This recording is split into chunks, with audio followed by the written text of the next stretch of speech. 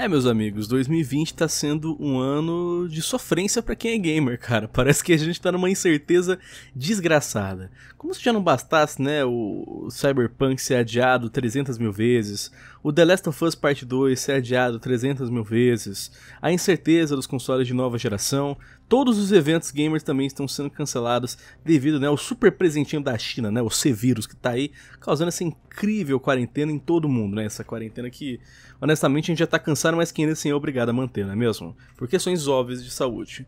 E agora, galera, parece que a gente não vai poder nem aproveitar mundo dos games é, aqui no nosso próprio país. Porque, galera, quem fala com vocês é o Lena Central. Agora, eu acho que nós vamos passar para vocês essa notícia que é esperado e é triste, mas é isso aí. Parece que a BGS 2020 não vai rolar, porque um, né, uma das maiores, né, uma das mais importantes participantes do evento já acabou de anunciar que não vai estar mais presente. É, exatamente, cara. E não só ela, como possivelmente nos próximos meses aí, semanas, a gente tem a confirmação de outras empresas também saindo do, do evento. E, cara, não sei se tu lembra quando a E3 foi cancelada, mas eu fui no Twitter, falei sobre isso e comentei, cara. Olha, eu tô sentindo o cheirinho de BGS cancelado esse ano. E eu acho que vai acontecer, velho. Ah, cara, é dito e feito, pode ter certeza, porque do jeito que essa situação tá indo, cara, não dá para ter esperança nenhuma em algum evento gamer em 2020. Esse com certeza vai ser o ano perdido do mundo dos games. A gente não vai ter nada uhum. rolando, nada mesmo. Olha, a gente vai passar essas informações para vocês, a gente vai debater o que isso significa pra gente, mas antes de mais nada, eu só convido você que está assistindo este vídeo a se inscrever aqui na Central clicar no sininho de notificações, assim você não perde nenhuma novidade, beleza?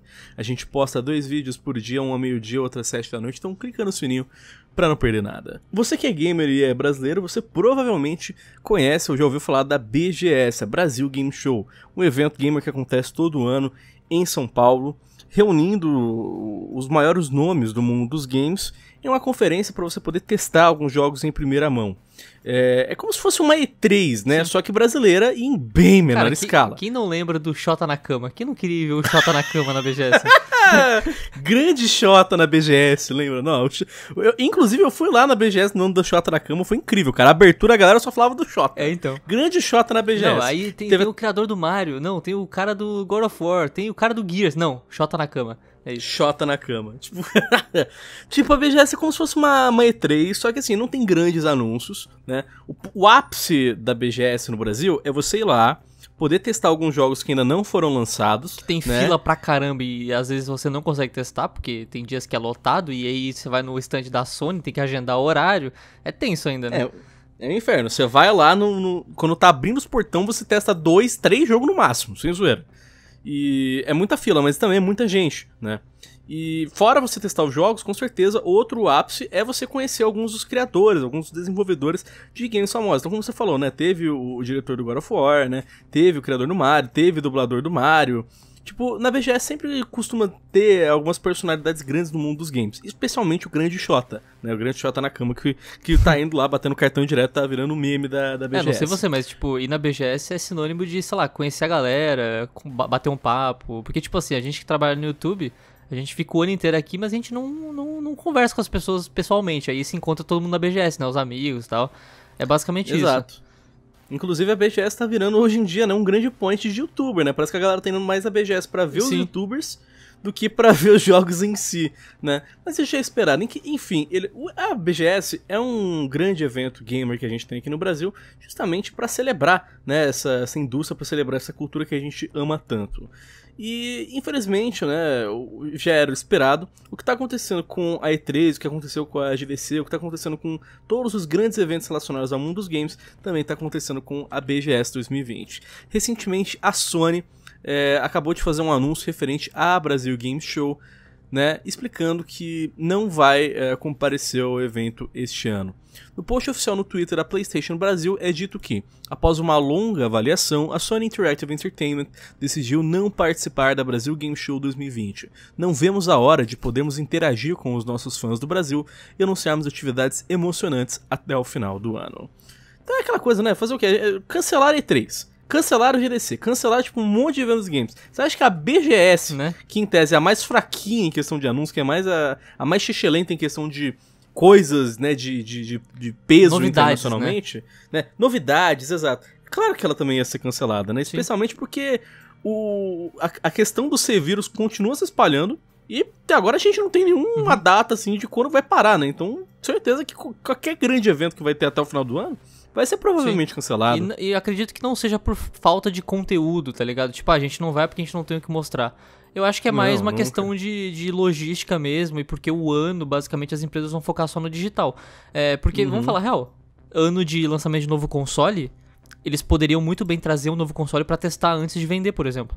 E o público Sim. brasileiro que gosta de PlayStation é gigantesco, então não faria sentido eles não é, deixarem passar essa oportunidade de marketing, tá ligado? Na BGS.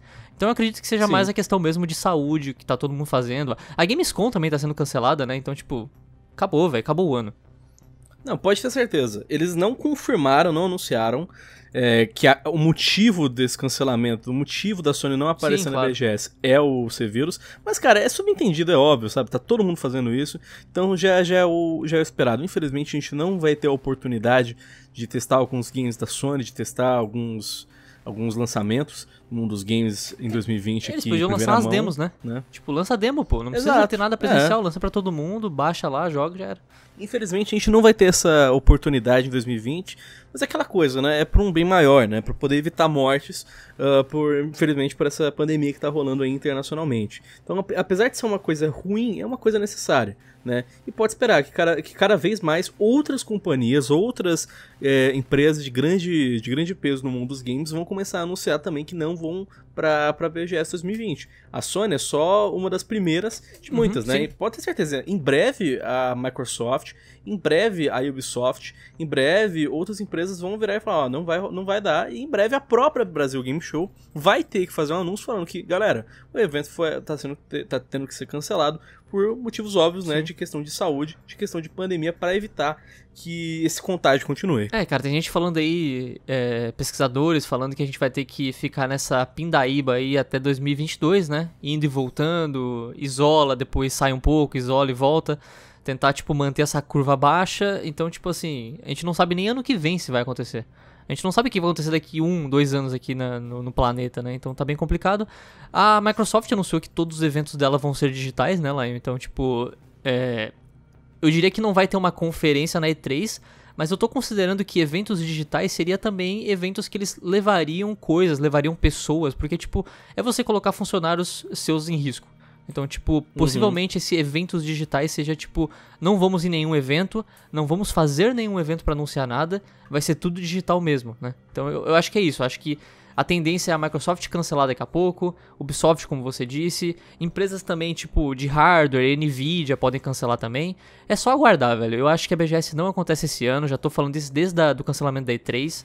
Não tem para onde correr, velho. A gente tem que aceitar. É só isso. É triste, mas tem que aceitar. Exato, tem que ficar em casa, tem que aceitar a realidade.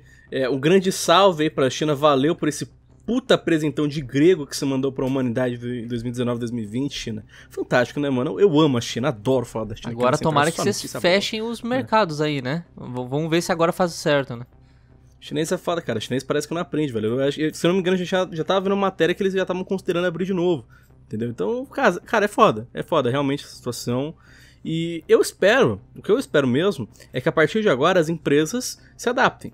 Porque a gente já está esperando que todas as empresas a partir de agora vão começar a fazer eventos digitais, né? Grandes anúncios em eventos digitais, como a Nintendo faz na Direct, como a Sony está fazendo agora no State of Play, né? Então vamos esperar que as empresas se adaptem para isso, para fazer esses eventos digitais. Só que fazer esses eventos digitais de maneira legal, porque puta que pariu, o State of Play é uma bosta puta que pariu, a Nintendo Direct é uma bosta. Então, assim, eu espero que eles aprendam agora com, com a experiência, aprendam com, com os próximos eventos, a fazer eventos digitais legais, tipo, fazer cara. Um, fazer, fazer um show, tipo E3, assim, só que digital? É, sem assim, plateia? Assim, eles vão. Eles vão. É, vai, vai, ter que ser sem plateia, vai ter Lógico. que ser digital. Mas, porra, vocês podem fazer uma produção mais legal do que, sei lá, fazer 15, 20 minutinhos de slideshow e trailerzinho de jogo indie, tá ligado? Ah, se for Porra, do pode tamanho um... da E3, assim, eu já tô feliz, cara. Tipo, uma hora e meia, assim, de conferência já tá de boa pra mim. É, mano, eles podem, por exemplo, sei lá, chamar famosos, cara. Com uma, com uma oportunidade dessa, chama algum ator, chama algum famoso para fazer, sei lá, uma apresentação da hora, tá ligado? Porque você não vai ter que estar em público. Tem que ver também se a galera vai aceitar, né? Porque, tipo, até pra ir num estúdio fazer, vai envolve pessoas, né? Tem que ver se os caras vão aceitar. Eu lembro que ah, mas... tava vendo, tipo, até no Flow, a galera tava, tipo, cancelando as idas no podcast e tal. Então, tipo, meio complicado isso também. Ah, mas eu acho que o importante é se adaptar e começar a criar coisa legal, tá ligado? Eu só espero que esses eventos digitais fiquem mais interessantes, porque honestamente, do jeito que tá, mano, tá muito fraco, tá muito sem graça. E já que a gente vai ter que engolir a seco, já que a gente vai ter que se acostumar com eventos digitais, que eles sejam feitos de uma maneira legal e interessante, porque honestamente, do jeito que tá, tá chato pra caralho, na minha humilde opinião, ao menos. Olha, galera, de qualquer maneira, eu pergunto para vocês agora que vocês estão sendo essas novidades, qual que é a sua opinião em relação ao futuro da BGS? Vocês acreditam que ainda há esperança ou vocês acreditam que não tem jeito, que a Sony é só a primeira de muitas e que não vai rolar esse evento em 2020? Deixa a sua opinião nos comentários e bora debater sobre um dos games daqui para frente, beleza? Não se esqueçam também de se inscrever e clicar no sininho de notificações para não perder nenhuma novidade aqui da Central. Enfim, quem falou com vocês foi o Lion e o Art, muito obrigado pela sua atenção. Eu espero que vocês tenham um ótimo dia, uma boa sorte nos campos de batalha e até mais. Valeu!